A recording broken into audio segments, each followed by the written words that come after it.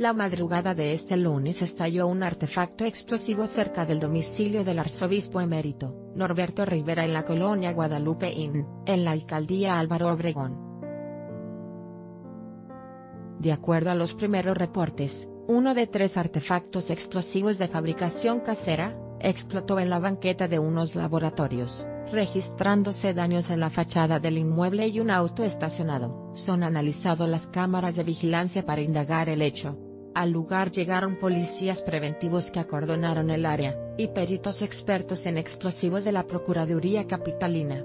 Es de resaltar la cercanía del domicilio del cardenal Norberto Rivera Carrera, quien sufrió ayer domingo un atentado en su hogar, donde fue asesinado un policía bancario que resguardaba el sitio.